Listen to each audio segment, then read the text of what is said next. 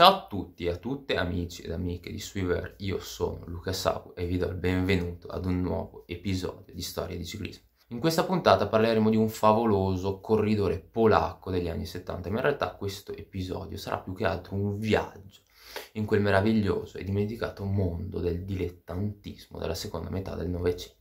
Il corridore in questione, chi l'ha visto gareggiare, giura che sia il più grande talento partorito nella storia della sua nazione, migliore dell'attuale Mikhail Kwiatkowski, migliore di quel Lech Piasecki che negli anni Ottanta conquistò diverse tappe del Giro d'Italia, ma anche i campionati mondiali dell'inseguimento individuale tra i professionisti e i campionati mondiali in linea su strada tra i dilettanti.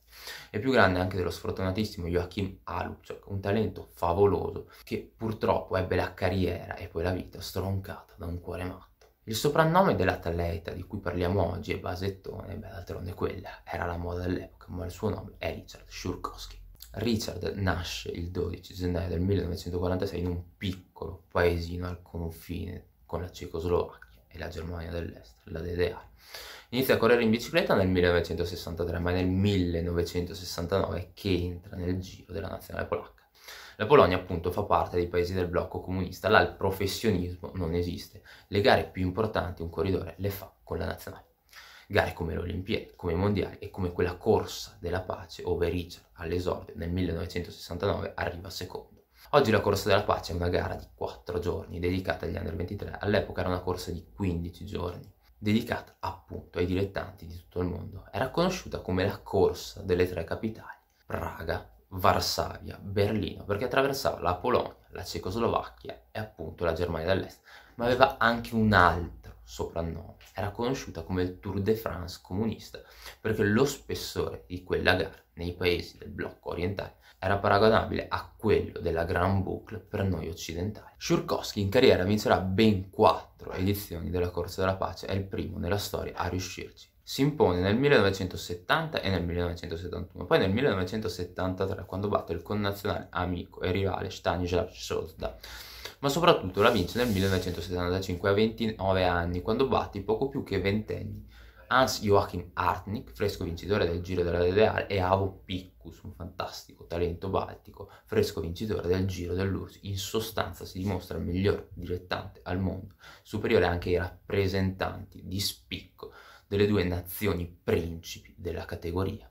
Ma i successi alla Corsa della Pace sono solo un piccolo pezzettino dello sterminato palmarès di Richard Shurkowski. Ovviamente ha vinto tantissimo in patria, non ha mai conquistato la classifica generale del Giro di Polonia, ma ha vinto ben 15 tappe, è il recordman di trionfi parziali. Poi ha vinto in Italia, ha vinto in Spagna, ha vinto in Francia, corse eh, tutt'oggi molto famose come il circuito della Sarthe o il Tour de Limousin, ha vinto diverse tappe della Milk Race, l'odierno Giro di Gran Bretagna, ha vinto in Turchia, ha vinto in Bulgaria, ha vinto anche in Cecoslovacchia, ovviamente ha vinto in Germania, ma ha vinto in Venezuela, in una Vuelta al Tacira che era meta molto ambita al tempo dei corridori dilettanti, ha vinto in Canada e ha vinto anche in quel Nord Africa che oggi è un territorio totalmente dimenticato dal ciclismo, ma al tempo a livello dilettantistico presentava delle gare molto ambite come il Giro di Marocco il Giro dell'Egitto, il Giro di Tunisia e soprattutto la gara principe di quella zona, ovvero il Giro di Algeria. Nell'albo d'oro di queste gare troviamo anche nomi come quelli di Costa Pettersson, vincitore del Giro d'Italia nel 1971, e di Sven Acke Nilsson, che arrivò invece terzo alla Vuelta in Spagna nel 1982. Richard, oltretutto, si è levato grandissime soddisfazioni anche alle Olimpiadi e ai campionati del mondo. Ai giochi ha conquistato due argenti, a Monaco nel 1972 e a Montreal nel 1976, ambedue nella cronometro a squadre di 100 km riservate ai quartetti, una prova di rara bellezza dove bisognava unire una grande coesione a doti di fondo strepitose. Quello stesso tipo di manifestazione ha vinto anche due maglie iridate, una nel 1973 e una nel 1975 ma nel 1973 in quel di Barcellona sul circuito di Montjuic non si è limitato a vincere un solo titolo mondiale, sarebbe stato troppo banale. Quell'occasione ha vinto anche la gara iridata riservata ai dilettanti. Quella prova si svolse in maniera veramente simile a quella dei professionisti. Tra i pro, nell'ultimo giro c'erano davanti quattro corridori, due belgi, Mertens e Merckx, Luis Occagna e poi Felice Gimondi. Qui invece abbiamo davanti due polacchi, Shurkowski e il suo eterno rivale, Stanislav Szotta E poi abbiamo anche il danese Blauzun e il francese Borro. Scholz fa l'andatura negli ultimissimi chilometri, sono tutti in salita perché si sale verso il promontorio, verso quel rettilineo dove Felice Gimondi batterà sorpresa Mertens in volata.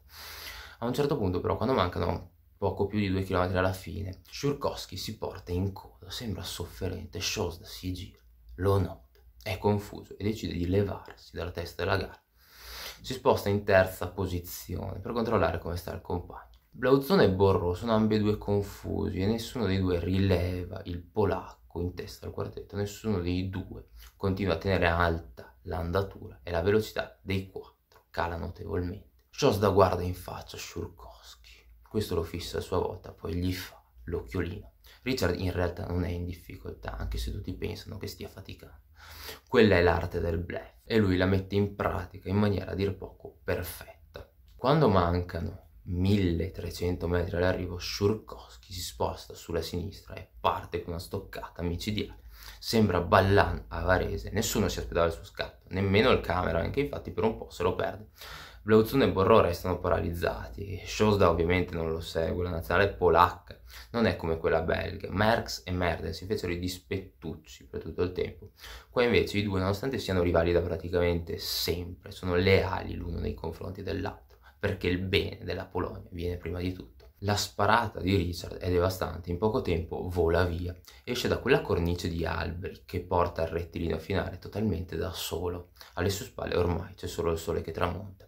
Può godersi il boato del pubblico, alza le braccia molto prima di tagliare il traguardo perché ormai non ci sono più possibilità che i tre al suo inseguimento lo raggiungano. Richard è campione del mondo ed è il primo polacco nella storia a vincere un titolo iridato in linea. Shosda con una gran volata completa la festa, fa secondo come spesso gli capitava dietro Shurkowski e completa quello che è un risultato di portata storica per la nazione dell'Europa orientale.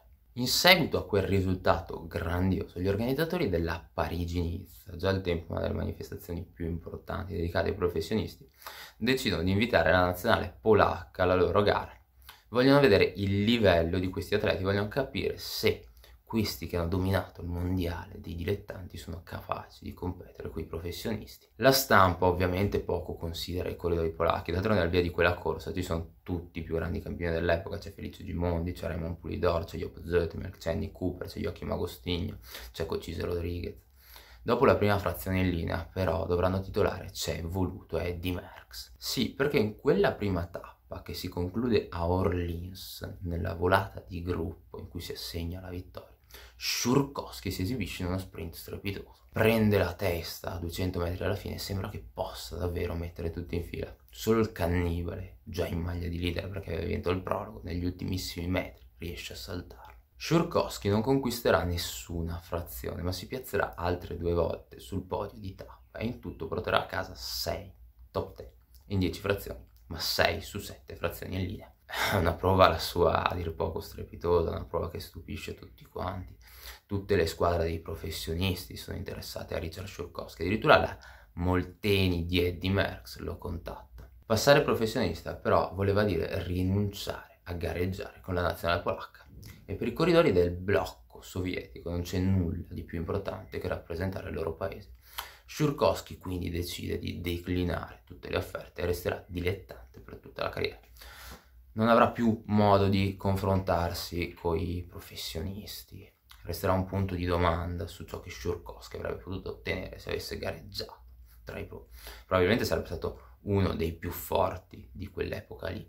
Ad ogni modo, 15 anni più tardi, quando il muro di Berlino cade, i corridori dilettanti potranno finalmente passare professionisti senza rinunciare a rappresentare la loro nazione. Tra loro vi sono corridori come Olaf Ludwig, come Piotr Grumov, che otterranno tantissimi risultati anche contro i grandi del blocco occidentale, dimostrando quello che Shurkowski aveva già messo nero su bianco in quella Parigi-Nizza, ovvero che i corridori del blocco sovietico, che i migliori dilettanti dei paesi comunisti, erano a livello dei più forti atleti occidentali.